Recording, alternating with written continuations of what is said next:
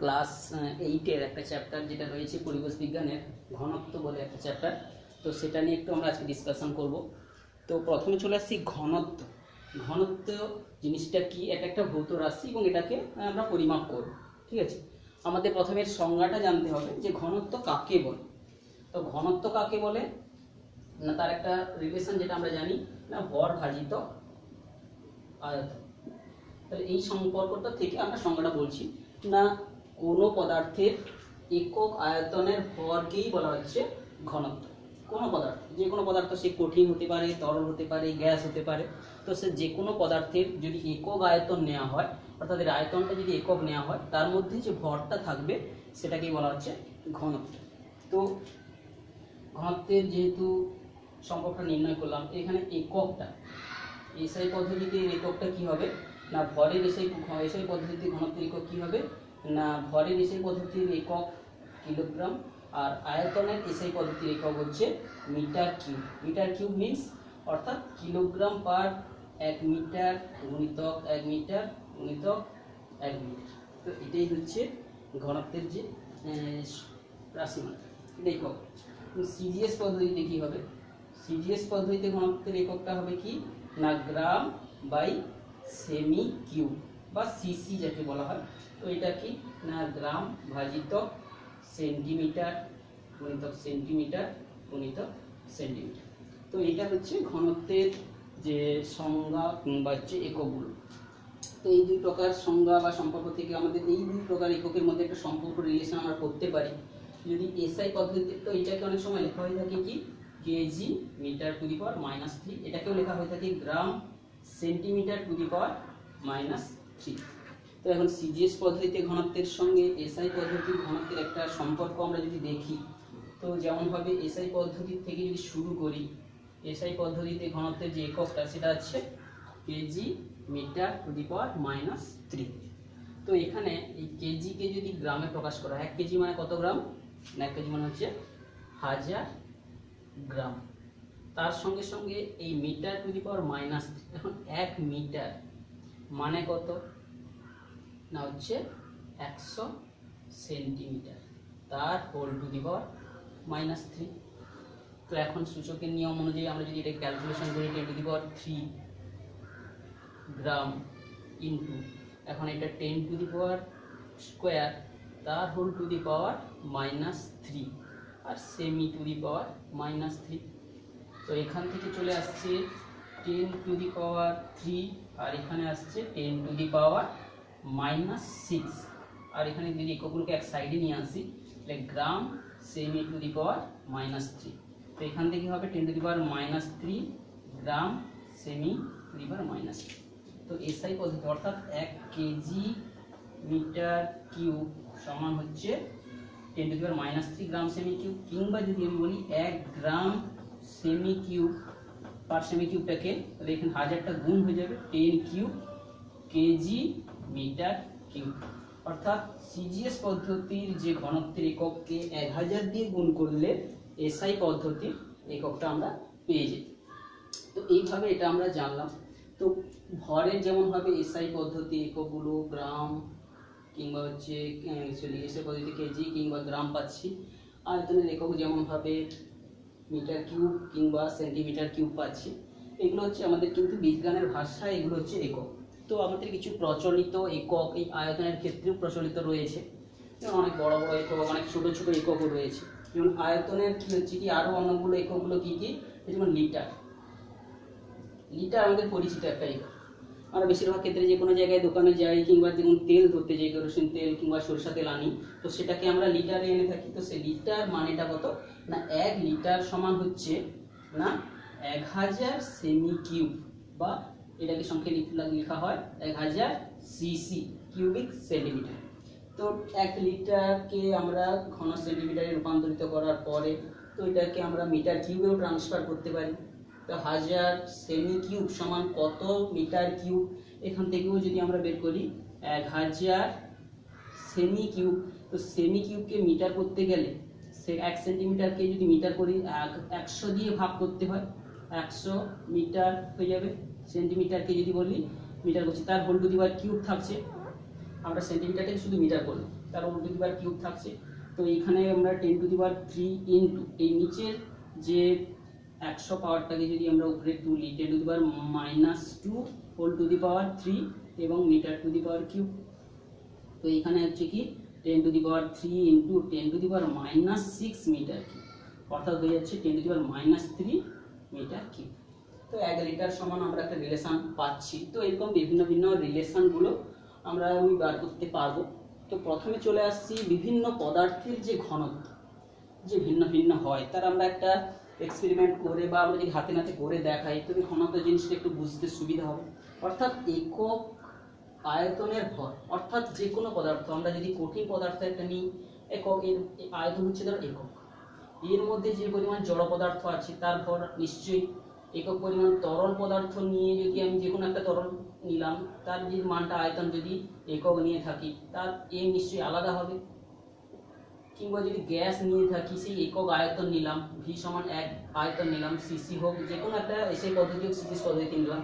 তো সেই পদ্ধতিতে নিশ্চয়ই ভর এ নিশ্চয়ই আলাদা হবে। তো প্রত্যেক পদার্থেরই ভর ভাজিত আয়তন করে আমরা ঘনত্বটা বের করে দেখাবো যে পদার্থের মধ্যে ঘনত্বগুলো আলাদা। আলাদা। অর্থাৎ পদার্থের মধ্যে আমরা জানি পরমাণু দিই বা অনুপরমাণু দিই তো তাহলে অণুগুলো প্রত্যেক পদার্থের মধ্যে সমানভাবে সাজানো নেই। বিভিন্নভাবে তাদের তাদের ভেতরে ইন্টারনাল স্ট্রাকচার থাকছে। তো সেই জন্যই তাদের হচ্ছে কিন্তু ঘনত্বগুলো আলাদা। তো আমরা হাতে নাতে ক্লাস এইটের উপযোগী করে ঘনত্বের যে বিভিন্ন পদার্থের আলাদা আলাদা হয়ে থাকে, তো আমরা একটা করে দেখানোর চেষ্টা করব।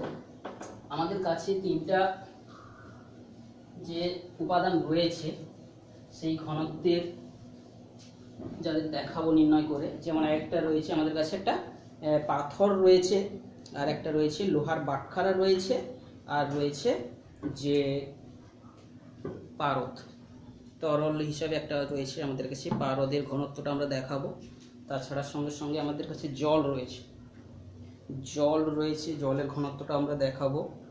আর জলের মধ্যে লবণ মেশালে আমাদের কাছে লবণও রয়েছে।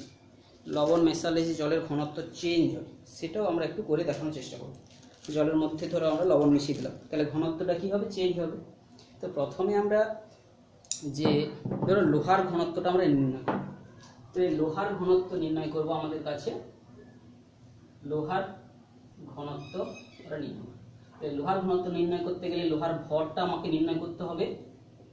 আর হচ্ছে কি, ঘনত্বের যে সংজ্ঞা যেটা রয়েছে, ভর ভাজিত আয়তন। তো আমরা যদি জানি, যদি এসআই পদ্ধতিতে বের করতে চাই, তাহলে এখানে কি হবে? Kilogram per metre cube. আর সিজিএস পদ্ধতিতে বের করতে গেলে গ্রাম পার সেন্টিমিটার কিউব হবে। তো আমরা লোহার ঘনত্বটা বার করব, যেটা আমরা বাটখারা রয়েছে আমাদের কাছে। তো এটার আমার ভর নির্ণয় করব, সঙ্গে সঙ্গে এর হচ্ছে লোহার আয়তনটা আমরা নির্ণয় করব। যেইটারই ভর নির্ণয় করেছি, সেই পদার্থটারই আয়তন আমরা নির্ণয় করব। তো প্রথমে চলে আসছি লোহার সঙ্গে সঙ্গে, তারপরে আমরা যেটা ক্যালকুলেশন করব, সেটা হচ্ছে কি? পাথর। পাথরটা আমার কাছে একটা রয়েছে, সেইটা আমরা দেখাবো যে এই পাথরটার ঘনত্ব কত, বেশি না কম বেরোবে তাহলে এই পাথরের ভরটা আমরা বের করব। আর হচ্ছে তার আয়তনটা বের করে দেখব। ঠিক একই রকম ভাবে আমাদের কাছে আছে পারদ। পারদেরও সেই রকম ভাবে ভর আর হচ্ছে আয়তনটা বের করব। আর হচ্ছে কি? জল। জলের ভর আর আয়তনটা বের করব তার সঙ্গে সঙ্গে লবণ জল, যেটা আমরা বলছি লবণ জল।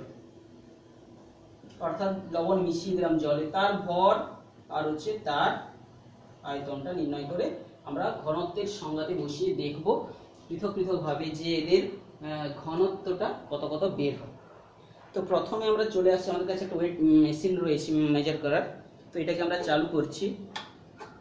তো এটাতে আমরা প্রত্যেকটা পদার্থের আমরা কিন্তু যে কত মেজারমেন্ট হয়, সেটা আমরা দেখার চেষ্টা করব।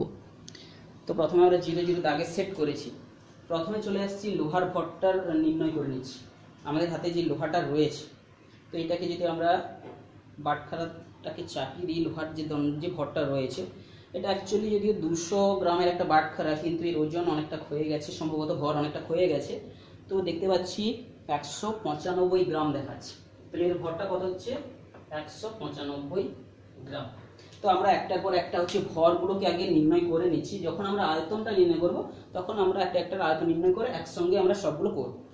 তো তো যেহেতু মেশিনটা চালু রয়েছে, তো সেই জন্য লোহার ভরটা আমরা করে লোহারটার ভর নির্ণয় করার একটা পার্ট করে নিচ্ছি।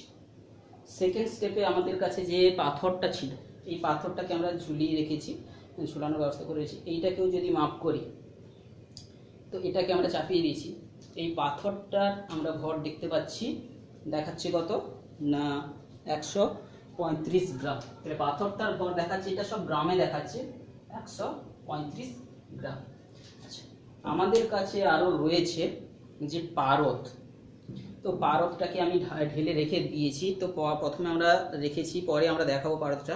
এই ছোট্ট বোতলটার ভেতরে পারদ রয়েছে। দেখতে পাচ্ছ তোমরা সবাই যে একটু ধূসর বর্ণের এটা আমরা এটাকে চাপিয়ে দিচ্ছি। এইটুকু আয়তন পর্যন্ত রয়েছে, তো এর আয়তনটা পরে মাপ করব। ভরটাকে মেপে নিচ্ছি। এর ভরটা কত হচ্ছে আমরা চাপিয়ে দিচ্ছি। দেখা যাচ্ছে এইটুকুটার ভর কত বেরোচ্ছে? না, তিনশো পঞ্চাশ গ্রাম। পারদটার ভর বেরোলো হচ্ছে কত? তিনশো পঞ্চাশ গ্রাম। এরপরে চলে আসছি আর একটা পার্টে, যেটা জলের। জলের আমরা হচ্ছে ঘনত্ব নির্ণয় করব। তো আমরা এই জলটার আপাতত জল ভর্তি গ্লাস একটা আমার কাছে রয়েছে। কানায় কানায় জল ভর্তি একটা গ্লাস আপাতত রয়েছে। এই গ্লাসটার, গ্লাসটা সহ এই যে জলটার আমরা ভর নিচ্ছি। তাহলে এখানে জলটা নির্ণয় করার জন্য আমাদের এখানে একটা আলাদা পার্ট করে রাখছি, গ্লাস সহ। গ্লাস সহ জলের ভরটা অ্যাকচুয়ালি গ্লাস সহ। শুধু জল নয়, গ্লাসটা তার সঙ্গে রয়েছে। গ্লাস সহ জলের ভর। গ্লাস সহ জলের ভর দেখতে পাচ্ছি আমাদের হয়েছে দুশো তিরিশ গ্রাম। তো এরপরে এইটাতে আমরা কি করছি? ধরো লবণ মিশিয়ে দিচ্ছি। তো আমরা এটা লবণ কিছুটা মিশিয়ে দিচ্ছি। আমাদের যে পরিমাণ লবণ এখানে মেশানো যায়, মিশিয়ে দিচ্ছি যদি কতটা পরিমাণ মিশছে তার ওয়েটটা আমরা কতটা মেশালাম তাও ক্যালকুলেশন থাকবে। এর মধ্যে লবণ মিশিয়ে দিচ্ছি। লবণ মিশিয়ে কিছুক্ষণ ওয়েট করছি।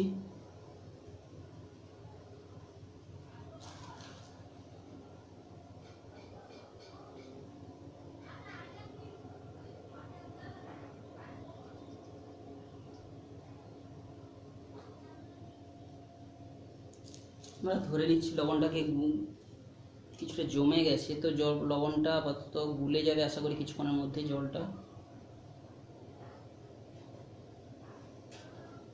এই যে লবণ ভর্তি জলের গ্লাস সহ ওজন কত দাঁড়াচ্ছে? দুশো চল্লিশ গ্রাম। তো লবণ সহ যে জলটা গ্লাস গ্লাস সহ, এখানে আমরা গ্লাস সহ লিখে রাখছি। এই, এর ভরটা কত বেরোচ্ছে? দুশো চল্লিশ গ্রাম। এইভাবে আমরা কতগুলো পদার্থের আগে ভরটা বের করে নিলাম। এরপরে আমরা আসব এদের আয়তনগুলো নির্ণয় করার ক্ষেত্রে। তো এইবারে আমরা মেশিনটাকে অফ করে দিচ্ছি। তো মেশিনটার কাজ আর নেই। এর ঘনত্ব নির্ণয় করার ক্ষেত্রে এবারে আমাদের প্রয়োজন হচ্ছে আয়তনটা মেজার করা। তো আয়তনটা মেজার করার জন্য আমরা কি করব? মেশিনটাকে অফ করে দিচ্ছি। তো এর কাজ শেষ আপাতত। এইটাকে করার জন্য এরপরে আমাদের আয়তনটা নির্ণয় করব। এটাকে আমরা নামিয়ে রাখছি।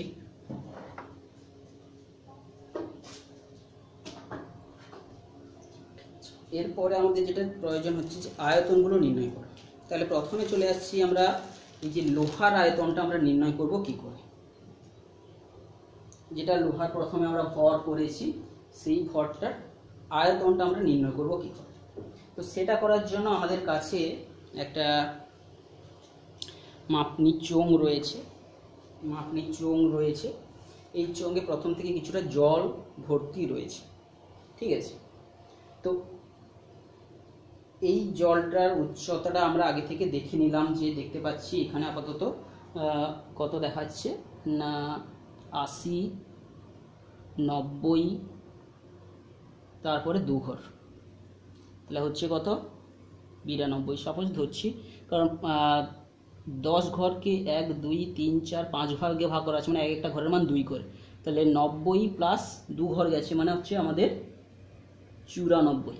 চুরানব্বই সিসি এখানে এর আয়তন জলটার প্রথম থেকে আছে। তো এখন তাহলে কত রয়েছে? এইখানে জলটার যে মাপক চঙ্গে মাপক চঙ্গে জলটা রয়েছে চুরানব্বই ধরো সিসি। এরপরে আমরা কি করব? যে আমাদের ধরো একটা গ্লাস, যেটা আমাদের জলটা কানায় কানায় ভর্তি করে নিচ্ছি, ঠিক আছে? জলটাকে আমরা এই গ্লাসটার জলটাকে কানায় কানায় ভর্তি করে নিচ্ছি। ঠিক আছে? আমাদের এটাকে খুব সাবধানে করতে হবে।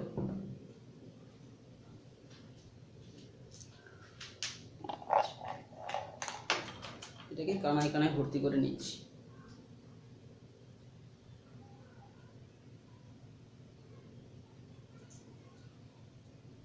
সাপোজ ধরছি, ধরলাম এটা কানায় কানায় ভর্তি হয়ে আছে এটাকে আমরা কোনো একটা পাত্রে রাখলাম। এইবার কি করব? না, আমরা যদি এই যে লোহাটার ভর মেপেছিলাম, তাকে যদি আমরা এই এর মধ্যে ডোবাই, তাহলে কি করবে? আর্কিমিডিসের নীতি অনুযায়ী কি কোনো পদার্থে, পদার্থকে কোনো তরলের মধ্যে নিমজ্জিত করলে সেই পদার্থটির সম আয়তন তরলকে সে অপসারিত করবে? অর্থাৎ এর যে আয়তন হবে, সেই আয়তনের সমান পরিমাণ তরলকে এ উপচে বের করে দেবে। তো আমরা যদি এর মধ্যে ডোবাই, পুরোপুরি ডোবালাম, তাহলে দেখতে পাচ্ছি এর পরিমাণ সমান পরিমাণ আয়তনকে অপসারিত করে দিয়েছে। তারপরে আমরা এটাকে তুলে আনলাম এরপরে আমরা যদি এই গ্লাসটাকে সরিয়ে নিয়ে, কিছুটা আমাদের ভুল ত্রুটি হবে, তো আমাদের সূক্ষ্ম সব কিছু করা যাচ্ছে না, তো এই পরিমাণ দেখতে পাচ্ছি এই তরলটার আয়তনকেও অপসারিত করেছে। তাহলে এই তরল অপসারিত তরলের যে আয়তন, সেটা নিশ্চয়ই এই বাটখারার যে আয়তন তার সমান। আমরা এখন যে আগুন মাপক চঙ্গে যে জলের লেভেল চুরানব্বই সিসি হয়েছিল, সেইটাতে এবারে আমরা ঢালছি। ঠিক আছে? সেইটাতে ঢেলে দিচ্ছি। আমাদের সূক্ষ্ম মাপ সম্ভব নয়। তো এইখানে দেখা যাচ্ছে তাহলে এইটা চুরানব্বই সিসি ছিল। এখন কত উচ্চতায় উঠেছে আমরা দেখব। তাহলে চুরানব্বই ছিল প্রায় একশো কুড়ি থেকে এক ঘর কম আছে, অর্থাৎ একশো আঠারো আছে। তাহলে ছিল চুরানব্বই, হয়ে গেছে একশো আঠারো একশো আঠারো সিসি হয়ে গেছে। জলটা অর্থাৎ যে, তাহলে এই বাড়তি জলটা, চুরানব্বই থেকে একশো আঠারো কত ঘর অর্থাৎ একশো আঠারো থেকে যদি আমরা চুরানব্বইকে বাদ দিই, যে সিসিটা হচ্ছে সেটাই হচ্ছে, ওর হচ্ছে আয়তন বেরোবে তাহলে চোদ্দ থেকে আট, চার গেলো আট থেকে চার গেলে চার, এখান থেকে আছে এগারো থেকে দুই, নয় গেলে দুই, চব্বিশ। তাহলে চব্বিশ সিসি তাহলে এই যে লোহার ভরটা যেটা একশো পঁচানব্বই বেরিয়েছিল তার হচ্ছে আয়তন হচ্ছে একশো চব্বিশ তাহলে ঘনত্ব কত হবে? ঘনত্ব হবে একশো পঁচানব্বই ভাজিত চব্বিশ তাহলে গ্রাম পার সেমি কিউব। তো এটা আমরা ক্যালকুলেশন করব ক্যালকুলেটর সাহায্যে। তো এরপরে আমরা চলে আসছি পাথরটার যে আয়তন নির্ণয়ের ক্ষেত্রে। তো সে যাই হোক, এখন আমাদের একশো এইটার ক্ষেত্রে আমরা এখন আপাতত একশো আঠারোতে আছে, ধরে নিচ্ছি। তাহলে আয়তন মাপক চোঙটার যে এখন জলের লেভেল যে চোঙে জলের লেভেলটা কত রয়েছে? জলের উচ্চতা রয়েছে একশো আঠারো সিসি এই অবস্থায় আছে। এরপরে আমরাও ঠিক একই রকম ভাবে যে যদি আমরা এই গ্লাসটাতে আবার ঠিক একই রকম প্রক্রিয়ায় আমরা কানায় কানায় জল ভর্তি করি এবং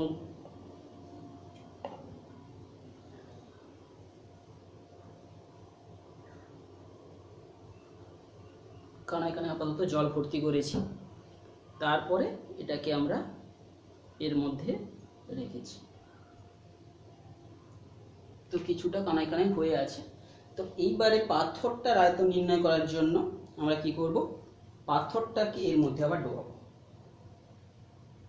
পাথরটাকে ডোবালে আমরা দেখতে পাবো, এই পাথরটার সম আয়তন তরলকে অপসারিত করবে। তো এইবারে পাথর কতটার আয়তন বা অর্থাৎ সমায়তন যে তরলকে অপসারিত করেছে, সেটা আমরা মাপ করব। সেটা মাপ করার জন্য যে পরিমাণ জলকে অপসারিত করেছে। তো আমরা সেটা এবারে যে সেই আয়তনটা হচ্ছে এই জলের আয়তনের সঙ্গে সমান। এই আয়তনটা এবারে মাপ করছি, এই জলটাকে আমরা ঢেলে দিচ্ছি। আয়তন মাপক চঙ্গে ঢেলে দিচ্ছি।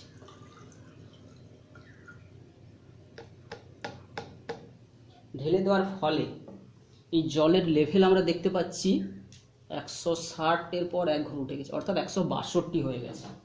অর্থাৎ হয়ে গেছে একশো বাষট্টি।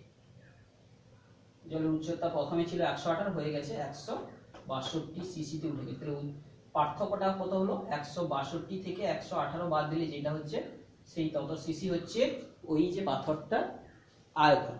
তাই তো? তাহলে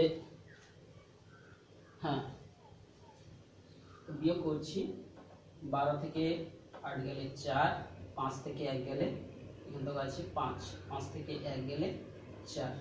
তাহলে হচ্ছে চুয়াল্লিশ সিসি তো এইভাবে এখানে ঘনত্ব নির্ণয়ের জন্য আমরা কি করব? ঘনত্ব নির্ণয়ের জন্য ভর হচ্ছে একশো পঁয়ত্রিশ গ্রাম ভাজিত আয়তন কত বেরোলো না, চুয়াল্লিশ সিসি অর্থাৎ পাথরটার ঘনত্ব আমাদের বেরোবে হচ্ছে এই প্রক্রিয়ার সাহায্যে, এখানে ভাগটা করলে রেজাল্টটা বেরোবে তো আমরা পরের স্টেপে চলে যাচ্ছি। ক্যালকুলেশনটা একসঙ্গে করব লাস্টে পারদটা।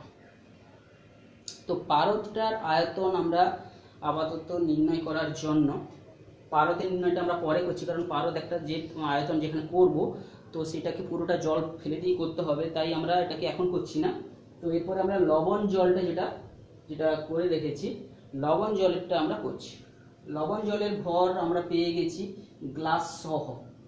তো গ্লাসের ভরটা আমাদেরকে নির্ণয় করে নেব এক্ষুনি, গ্লাসের ভরটা আমরা নির্ণয় করে নেব। তো তারপরে গ্লা- এই তরলটার আয়তন আমরা নির্ণয় করব, ঠিক আছে? এই তরলটাকে যদি পুরোটা ঢেলে দিই আচ্ছা আমাদের কারণ এটা ধরবে না, তাই আমরা ফেলে দিচ্ছি কিছুটা জলকে, আমরা ফেলে দিচ্ছি। তো সাপোজ আমরা একটা তল পর্যন্ত রেখেছি সাপোজ এখানটায় আমরা রেখেছি হচ্ছে কত? কুড়ির পরে দশ তিরিশ থেকে দু ঘর, এক ঘর কম রয়েছে। তো যাই হোক এখানে আপাতত রেখে দিয়েছি। মোট দু ঘর রয়েছে, এক দু ঘর, অর্থাৎ চার সিসিতে আছে ধরো।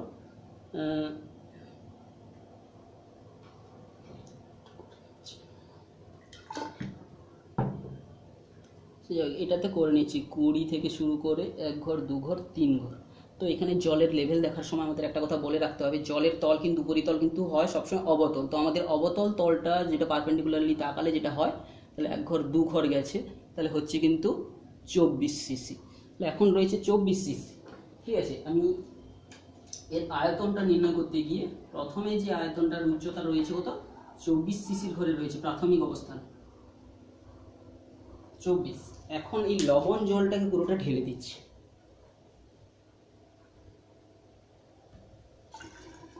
কিছুটা পড়ে গেল। তো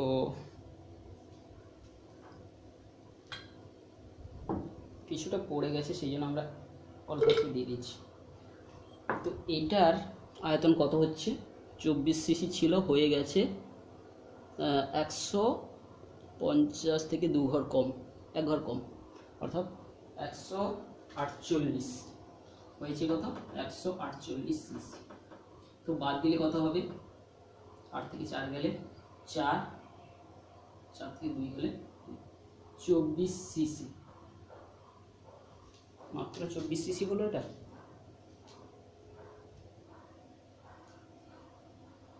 সরি এটা ছিল চব্বিশ সরি একশো চব্বিশ সিসি, একশো চব্বিশ সিসি। তো পাথর, এই যে লবণগুলা, জলের, আমরা হচ্ছে দেখতে পেলাম একশো চব্বিশ। আচ্ছা এই গ্লাসটার ভর আমাদেরকে নির্ণয় করে নিতে হবে। ছোট যে গ্লাসটা, তাহলে আমাদের ভর নির্ণয়ের কাজটা আপাততভাবে কমপ্লিট হবে। এবং সঙ্গে সঙ্গে তো গ্লাসটার গ্লাসটার আমরা হচ্ছে এই গ্লাসটার ওজনটা আমরা আলাদা করে নির্ণয় করছি। গ্লাসটার ওজন নির্ণয় করার জন্য আমাদের আরেকবার মেশিনটাকে চালু করতে হবে।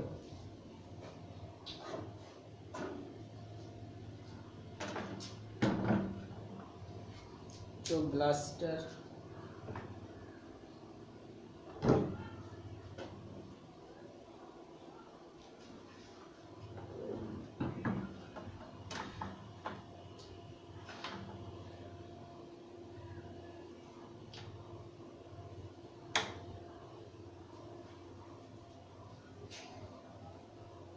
এই যে গ্লাসটার ওজন গ্লাসটার ওজন এখান থেকে আমাদেরকে বের, বাদ দিতে হবে।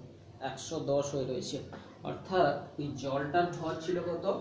ওইখান থেকে একশো দশ আমাদের বাদ দিতে হবে। একশো দশ বাদ দিলে যেটা থাকছে, অর্থাৎ জলের যে ভরটা ছিল কত? একশো তিরিশ গ্রাম। ঠিক আছে? একশো তিরিশ গ্রাম তো ছিল। তো এইরকমভাবে আমরা হচ্ছে দেখতে পেলাম এটা। আর এক্ষেত্রেও তাহলে ঠিক একই রকমভাবে জলের যে এই যে ভরটা অ্যাকচুয়ালি একশো তিরিশই হবে অর্থাৎ একশো দশ বাদ যাবে, অর্থাৎ একশো দশ বাদ যাবে, তাহলে এটা হবে কত? একশো কুড়ি গ্রাম। একশো কুড়ি, অর্থাৎ জলের জলের ভর, শুধু জলের ভরটা কত? তাহলে শুধু জলের ভর, শুধু জলের ভরটা হচ্ছে কত? না, একশো কুড়ি গ্রাম। ঠিক আছে, এর আয়তনটা কত বেরোলো? এর আয়তন যা বেরিয়েছে, এখানে আয়তন একই বেরোবে, একশো চব্বিশ সিসি। একশো চব্বিশ সিসি। কারণ লবণ ভর্তি জলের যে আয়তন, এটারও যে আয়তন একই, অর্থাৎ এই যে শুধু জলের ক্ষেত্রে তাহলে ভরটা বেরোলো হচ্ছে একশো কুড়ি আর আয়তন বেরোলো কত? না, একশো চব্বিশ সিসি, এই দুটো। তাহলে জলের, এই জলের, শুধু জলের ঘনত্ব কত হবে? না, একশো কুড়ি গ্রাম বাজিত একশো চব্বিশ সিসি। আচ্ছা এটার ক্ষেত্রে আমরা লিখে নিয়েছি, পারদের আয়তনটা আমরা বের করব। আচ্ছা এরপরে এখানে লবণ সহ জলের ঘনত্বটা কত বেরোবে? ঘনত্বটা বেরোবে হচ্ছে ভর বাই একশো তিরিশ ভাজিত একশো চব্বিশ সিসি। ঠিক আছে? আর তাহলে প্রত্যেকটা জায়গায় ঘনত্ব আমাদের, লোহার ঘনত্ব মানটা এখান থেকে বেরোবে একশো পঁচানব্বই বাই চব্বিশ। পাথরের ঘনত্বটা এটা থেকে বেরোবে। আচ্ছা পারদেরটা আর জলের ঘন, শুধু বিশুদ্ধ জল লবণ মুক্ত জল, অর্থাৎ এটা হচ্ছে বিশুদ্ধ জল। বিশুদ্ধ যে জলটা নিয়েছিলাম তার ঘনত্ব, বিশুদ্ধ। আর এটা হচ্ছে লবণ জল। লবণ জল, লবণ জলের ঘনত্ব। তো এইগুলো করতে গিয়ে আমাদের পারদের আয়তনটা এবারে আমাদের নির্ণয়ের পালা পারদের আয়তনটা নির্ণয় করার জন্য আমরা কি করব? পারদের আয়তনটা সূক্ষ্মভাবে করতে পারছি না, তো আপাতত এই জলটাকে পুরোটা ফেলে দিয়ে, পুরোটাকে ফেলে দিয়ে এইখানেই আমরা পার্কটা কত আয়তন হয় আমরা একটু মাপ করব। যদিও এটাকে শুকনো করে নেওয়া উচিত ছিল। আমাদের সেই সময়টা নেই এখানে। তো এইটার মধ্যে আমরা পারদটাকে ঢেলে দেবো। ঠিক আছে? ঢাললেই যে আয়তনটা এখানে হবে, সেখান থেকে আমরা পারদের আয়তনটা বের করব। তো খুব কমই আয়তন হবে সম্ভবত।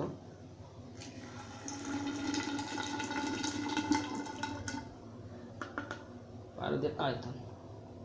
পারদের আয়তন দেখতে পাচ্ছি আমরা একটু সূক্ষ্মভাবে করতে হবে কাজটা।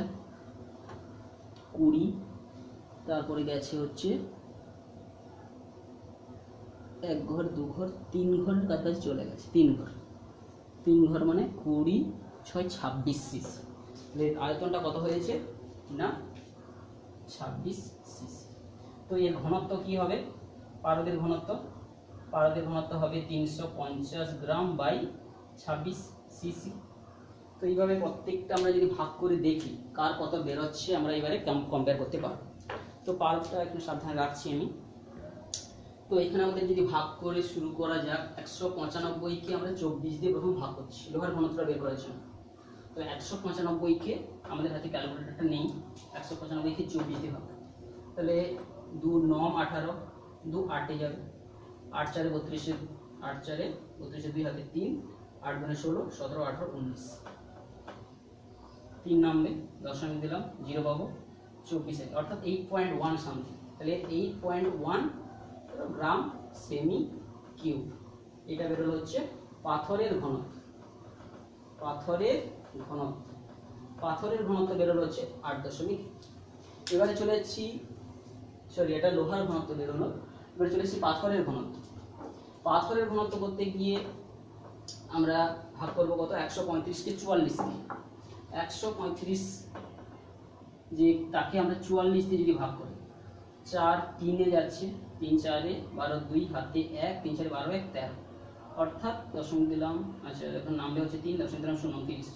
তাহলে তিরিশ পয়েন্ট আর জিরো দিলাম, অর্থাৎ থ্রির কাছাকাছি। পাথরের ঘনত্বটা দেখতে পাচ্ছি, থ্রি পয়েন্ট সামথিং জিরো ধরো জিরো দিলাম, একটা শূন্য পাবো চার পাঁচে পাঁচে। নিয়ে যাব three point zero five. Gram per semi cube. অর্থাৎ পাথরের ঘনত্ব বেরোলো কত? তিন দশমিক। যেখানে লোহার ঘনত্ব বেরিয়েছিল আট দশমিক এক গ্রাম পার সেমি কিউব। পাথরের ঘনত্বটা বেরোলো তিন দশমিক জিরো। এবারে চলে আসছি পারদের ঘনত্ব, যেটা অ্যাপ্রক্সিমেট আমাদের জানা মান। পারদের ঘনত্ব কত? না, তেরো দশমিক ছয় গ্রাম পার সেমি কিউব। আমাদের এখানে কত বের হয় দেখি? তাহলে আমাদের ভাগ করতে হবে পারদের ঘনত্বের জন্য তিনশো পঞ্চাশকে ছাব্বিশ দিয়ে। তো তিনশো পঞ্চাশকে আমরা যদি ছাব্বিশ দিয়ে ভাগ করি তিনশো পঞ্চাশকে আমরা ছাব্বিশ দিয়ে ভাগ করছি। তিনশো পঞ্চাশকে আমরা যদি ছাব্বিশ দিয়ে ভাগ করি, হবে কত? ছাব্বিশ একে ছাব্বিশ, পনেরো থেকে নয়, ছয় গেলে নয়। ছাব্বিশ, পঁচিশ পঁচিশ, চারে একশো, তিনে যাবে। তিনশো আঠারোর আট, হাতে এক। তিন দুনে ছয়, এক, সাত। তিনশো আঠারোর আট, হাতে এক তিন এক, সাত। দশ থেকে আট গেলে দুই। বারো দশমিক দিলাম, শূন্য পেলাম ছাব্বিশ, কুড়ি, ছয়, একশো কুড়ি, ছয়, পাঁচই দিয়ে দিলাম। পাঁচশো তিরিশের শূন্য হাতে তিন, পাঁচ দিনে দশ, তিন, তেরো। বেশি হয়ে যাচ্ছে চারে যাবে। সামথিং চারশো চব্বিশের চার হাতে দুই, চার দুনে আট দুই দশ। একশো চার। তাহলে ষোলো নামছে। তো আমাদের এখানে মানটা একটু কম বেরিয়েছে। তার thirteen point four something zero হবে, ধরো ফাইভ হবে। তাহলে এখানে আমরা দেখতে পাচ্ছি থার্টিন পয়েন্ট ফোর বেরোচ্ছে। তাহলে গ্রাম সেমি কিউব আমাদের পারদের ঘনত্ব যেটা বেরোনো উচিত ছিল ডেনসিটি পারদের ঘনত্ব, সেটা একটু কম বেরোলো আমাদের। এরপর চলে যাচ্ছি বিশুদ্ধ জল যেটা আমরা নিয়েছি, তার ঘনত্ব বিশুদ্ধ জলের ক্ষেত্রে আমরা তার ভরটা পেয়েছিলাম একশো কুড়ি গ্রাম। আর ঘনত্ব আর আয়তন পেয়েছিলাম একশো চব্বিশ। তো দেখতে পাচ্ছি প্রায় নিয়ার অ্যাবাউট কাছাকাছি গেছে, একটু কমে গেছে। একশো কুড়িকে আমরা যদি চব্বিশ দিয়ে ভাগ করছি, একশো কুড়িকে একশো চব্বিশ দিয়ে ভাগ একশো কুড়িকে একশো কুড়িকে একশো চব্বিশ দিয়ে ভাগ তাহলে দশমিক দিলাম প্রথমে একটা শূন্য তো দশমিক দেওয়ার পরে বারো আসলে বারো, দশ, বারো নম ন চারে ছত্রিশের ছয়, ন চারে ছত্রিশের ছয়, হাতে তিন, ন দুনে আঠারো, উনিশ, কুড়ি একুশের এক, হাতে দুই নয় তিন নয়, দশ এক। তাহলে পয়েন্ট নাইন সামথিং বেরোচ্ছে। পরে পয়েন্ট নাইন অর্থাৎ পয়েন্ট নাইন আমরা যাচ্ছি না বেশি বেশি মেলে পয়েন্ট নাইন গ্রাম আচ্ছা অ্যাকচুয়ালি এখানে একটু অ্যাপ্রক্সিমেট না করে আরও ক্যালকুলেশন করা দরকার। যেমন লবণ জলটা বের করব যেহেতু। এখানে ভাগ ভাগ করলে আমরা তাহলে দশ থেকে চার দিনে ছয় গেলে চার নয় থেকে এক গেলে আট, চুরাশি দশমিক আছে জিরো পাবো। বারো সাতে, বারো ছ বাহাত্তর বারো সাতে ছয় দিলাম ছ চারে চব্বিশের চার হাতে দুই, ছ দুনে বারো তেরো চোদ্দ চার হাতে এক, ছয় ছয় একশো near nine point six point nine six gram আর সেমি কিউব এবার চলে আসছি লবণগুলা জল লবণগুলা জলের যদি ঘনত্ব বের করার জন্য আমাকে ভাগ করতে হবে একশো তিরিশকে একশো চব্বিশ দিয়ে তো এই ক্ষেত্রে আমরা একটু দেখতে পাচ্ছি যে একশো তিরিশকে যদি একশো চব্বিশ দিয়ে ভাগ করি, একশো চব্বিশ একে একশো চব্বিশ। দশ থেকে ছয় গিয়ে চার গেলে ছয়। তাহলে দশমিক পেলাম শূন্য পাবো। আবার একটা শূন্য দেবো, ছশো। বারো, পাঁচে ষাট near about one point zero five এখানে একটু বেশি হচ্ছে জলের ঘনত্বটা আমরা দেখলাম। লবণ লবণগুলা জলের one point zero five gram semi cube তাহলে আমরা দেখতে পাচ্ছি gram seven to the power minus three তো এখানে লবণগুলা জলের ঘনত্ব আমরা কত পেলাম? ওয়ান পয়েন্ট জিরো ফাইভ আচ্ছা প্রথম থেকে তাহলে লোহার ঘনত্বটা দেখলাম, কত বেরোলো প্রায় near about eight point one gram semi cube আচ্ছা পাথরের বেরোলো three point zero five gram per semi cube পারদের বেরোলো thirteen point four gram per semi cube বিশুদ্ধ জলের বেরোলো point nine six gram per semi cube আর লবণগুলা জলের আমরা দেখতে পেলাম one point zero five gram per semi তো এগুলো আমরা অ্যাপ্রক্সিমেট ক্যালকুলেশন করেছি। তো অর্থাৎ বুঝতে পেরেছি বিভিন্ন পদার্থের ঘনত্ব কিন্তু আলাদা। ঘনত্ব অর্থাৎ কি আমরা যেটা বলছিলাম, পদার্থের ভেতরে অনুপরমাণুগুলোর সাজানোটা প্রত্যেক পদার্থের কিন্তু এটা আলাদা আলাদা রয়েছে। তো এর পরে ক্লাসে আমরা এটা নিয়ে একটু আলোচনা করব। আজকে এখান পর্যন্ত থাকছে।